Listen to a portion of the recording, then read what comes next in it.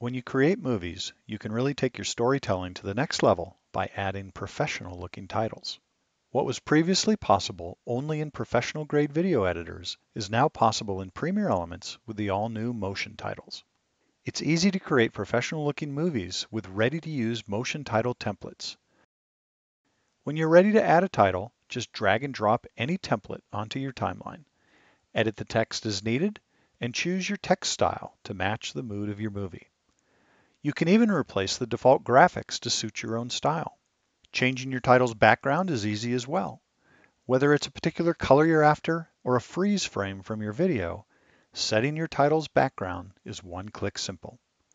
You can also customize the text, graphics, and background for any of the templates and even save them for future use as a new template. With motion titles, it's easy to add some dazzle to your movie and give it that professional production quality it deserves.